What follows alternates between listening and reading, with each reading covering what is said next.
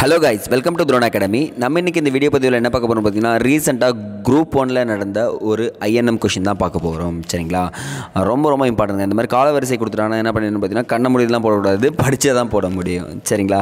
நீங்கள் எடுத்துக்காங்க பாருங்கள் ஃபஸ்ட்டு நமக்கு என் எந்த இயர்லேருந்து எந்த இயருக்குள்ளே கேட்டிருக்காங்கன்றதை நீங்கள் தெரிஞ்சுக்கிட்டா போதுமானது. ஆயிரத்தி தொள்ளாயிரத்தி இருபத்தி அஞ்சுக்கு மேலே ஆயிரத்தி தொள்ளாயிரத்தி நாற்பத்தி அஞ்சுக்குள்ளே தான் கேட்டிருக்காங்க. பெருசாக ஒன்றும் கேட்டில்ல அப்போ இந்த இயருக்குள்ளே நீங்கள் இந்த டைம் லைனை படித்து வச்சிருந்தீங்கன்னா அட்டன் பண்ணிடலாம். இங்கே பாருங்கள் இதில் அட்டன் பண்ணிடலாம் பாருங்கள் நேரு அறிக்கை பூனா ஒப்பந்தம் சைமன் குழு கிரிப்ஸ் குழுன்னு சொல்லிட்டு நான்கு குழுக்கள் கொடுத்துருக்காங்க. இது வந்து பார்த்திங்கன்னா எங்கன்னா டென்த்து புக்கில் ஓகேங்களா? உங்களுடைய டென்த்து புக்கில் லாஸ்ட்டில் காலக்கோடுகள்னு சொல்லிட்டு கொடுத்துருப்பாங்க. அந்த இடத்துல கொடுத்துருப்பாங்க பாருங்கள் இந்த இடத்துல ஃபஸ்ட்டு வந்து பார்த்திங்கன்னா சைமன் குழு அமை நியமனம் பண்ணது. இந்தியாவிற்கு வருகை பண்ணது கேட்கல. சைமன் குழு நியமனம் ஆயிரத்தி தொள்ளாயிரத்தி இருபத்தி ஏழு. அப்புறம் மோதிலால் நேரு அறிக்கை ஆயிரத்தி தொள்ளாயிரத்தி இருபத்தி எட்டு. இங்கே கொடுத்துருக்காங்க பாருங்கள் ஆயிரத்தி தொள்ளாயிரத்தி முப்பத்தி ரெண்டில் வகுப்பு வாரி பிரதிநிதித்துவம் பூனா ஒப்பந்தம் மூன்றாவது வட்டமேசை மாநாடு ஆயிரத்தி தொள்ளாயிரத்தி முப்பத்தி ரெண்டு தான் வந்து பார்த்திங்கன்னா பூனா ஒப்பந்தம். அப்புறம் கிரிப்ஸ் தூதுக்குழு நான்காவது இடத்துல வருது. ஆயிரத்தி தொள்ளாயிரத்தி நாற்பத்தி ரெண்டு. ஓகேங்களா?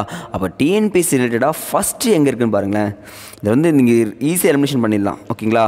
சைமன் குழு தான் ஃபஸ்ட்டில் வரான் அப்படின்றத நீங்கள் தெரிஞ்சுக்கணும். ஓகேங்களா? ரெண்டாவது நேரு அறிக்கை.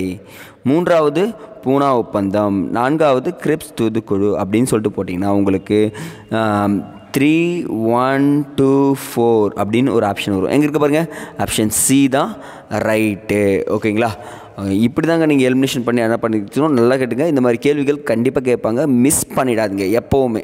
அதுதான் நான் சொல்கிறேன் சரிங்க. இன்றைக்கி உங்களுக்கான கேள்வி. ரொம்ப டஃப்பாக கேட்டுடலாமா? ரொம்ப லென்த்தியாக ஒரு ரெண்டு பக்கம் எழுதுகிற மாதிரி எழுதுங்க பார்க்கலாம். பூனா ஒப்பந்தம். இந்த பக்கம் காந்தி இருப்பார். இந்த பக்கம் அம்பேத்கர் இருப்பார். ஆனால் கையெழுத்து போட்டவங்க வெவ்வேறாக இருப்பாங்க. சரிங்களா? அப்போ பூனா ஒப்பந்தம் காந்திக்கும் அம்பேத்கருக்கும் இடையே தான் நடைபெற்றது. ஆனால் கையெழுத்திட்டவர்கள் யார் யாருன்றது இருக்குல்ல? அது யார் யார்? காந்தி பக்கம் யார்? அம்பேத்கர் பக்கம் யாருன்றதை கமெண்ட் செஷனில் கமெண்ட் பண்ணுங்கள் ஓகேங்களா அடுத்த வீடியோ பற்றி சந்திக்கலாம். நன்றி.